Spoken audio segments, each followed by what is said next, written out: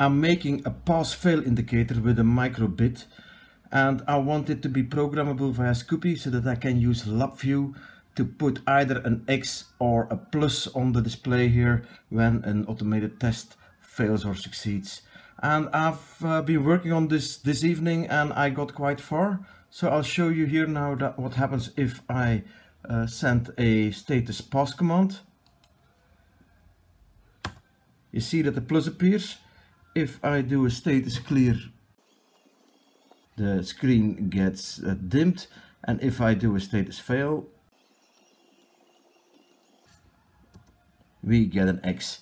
I also want to drive uh, one of the pins high when there is a failure and another pin high when there is a success so that you can either control a buzzer or something in your production line to push off a failed component. But what you can see here is that I have the core working. The SCPI parser works, it listens on the USB to traffic and it shows the results.